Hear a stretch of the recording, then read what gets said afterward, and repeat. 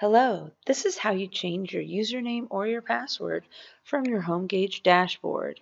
Once you're logged into your dashboard, scroll down to the bottom of the blue menu on the left-hand side and you'll click on Account Settings and then you'll click on Account Contact Info. You'll have your existing username in front of you. If you want to change it, just put your cursor there and type whatever you want there.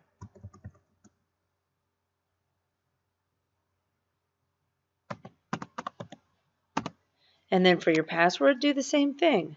Type the password you'd like, and then confirm it by typing it again. Scroll down to the bottom of that page. You can change other contact information here as well. And then you'll hit submit. Voila, you are done.